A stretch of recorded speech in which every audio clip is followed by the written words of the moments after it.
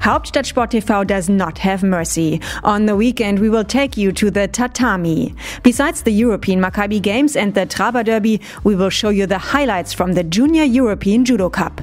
The most important tournament for juniors. More than 40 nations from all around the world will come to Berlin and transform the Sport Arena in Hohenschönhausen for the 24th time into a judo temple. We will be there every day and feed you with the important facts and highlights of the competitions. Hauptstadtsport TV for Berlin, Germany, and Europe. Check us out.